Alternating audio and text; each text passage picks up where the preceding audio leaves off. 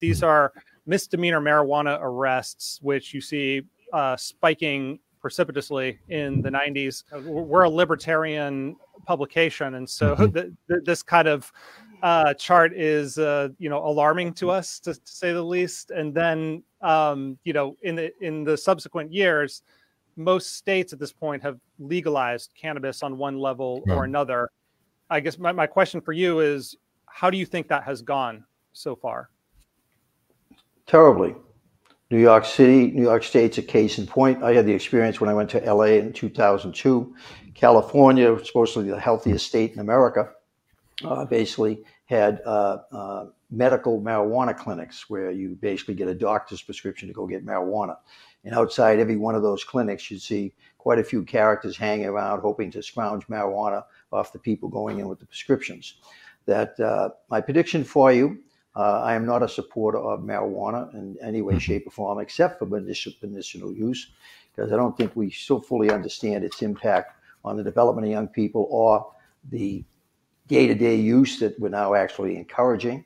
Uh, in my last year, 2016, in New York City, uh, marijuana was associated with more murders than cocaine, heroin, and the other drugs. Fentanyl had just begun to occur during that time. What uh, what does that mean to say associated? That there was marijuana you, you, on the scene? Crime associated with uh, people trying to rip off marijuana dealing, that uh, it just was always found at the scenes of so many of these crimes. But you're you're not saying it was.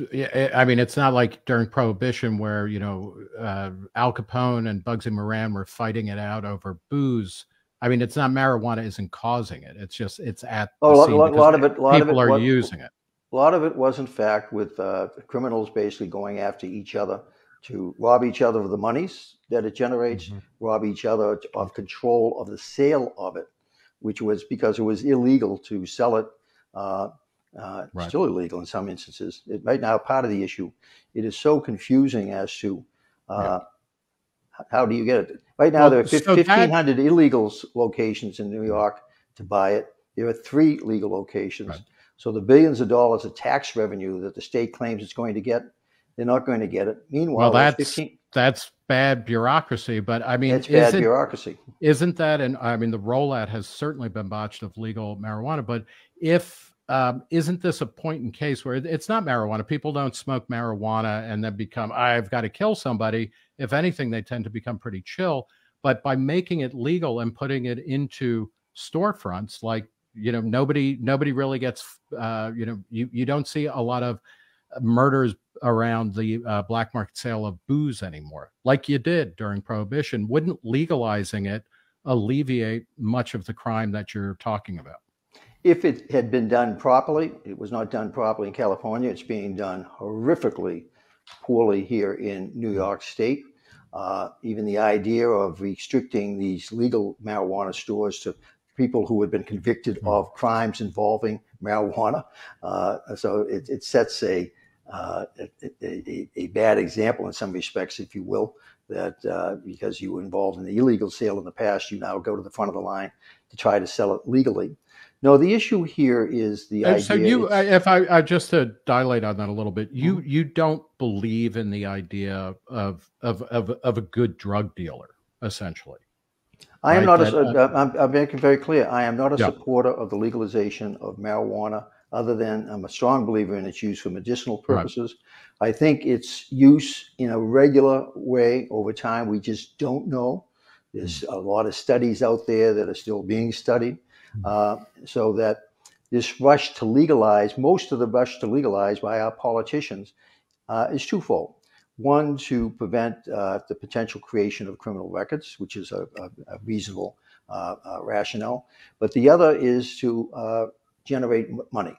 Right. And to and generating the money, this is where it's going to fall down because there's not a state that's legalized that, that's ever recognized the money that they thought they were going to get. Why? Well, because yeah, that I, well, I, I'm we, we I think we'll have to agree to disagree on some of this. Certainly, Colorado. Oh, we'll definitely disagree on marijuana. Uh, definitely. Yeah, and and no other drugs that. and other drugs and or, or currently yeah. illegal drugs.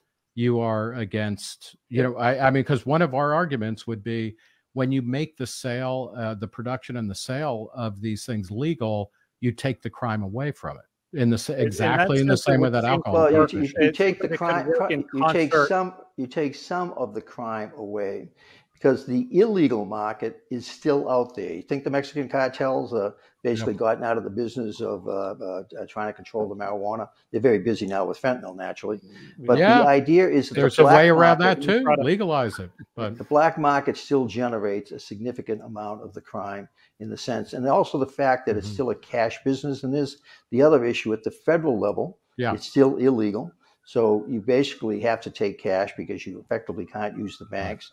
So, as uh, Mayor Adams has complained about in New York City, I haven't seen the specific figures, but the concern about all these illegal marijuana shops with all this cash on hand become targets for robberies. We'll see how that goes over time. Well, again, there's a, a, clear fix to that. We will have you back after drugs are actually legal and we see that crime disappears around the drug traffic as well as the I, I, ills think, of drug I, we're gonna, what you're going to then see is that all these movies about zombies wandering the streets. That's yeah, yeah. yeah uh, but they'll, they'll be happy and peaceful. Hey, that's an excerpt from our recent live stream with Bill Bratton, who was New York City's top cop. He also worked in LA and oversaw dramatic decreases in crime. We talked about what's going on now, what worked in the past, what might work in the future, and how do you square all of that with the need for civil liberties. If you want to watch the whole video, check it out. And if you want to check out our recent live streams, we do them every Thursday at Zach Weissmueller and I at 1 p.m. Eastern Time go to reason.com and check us out.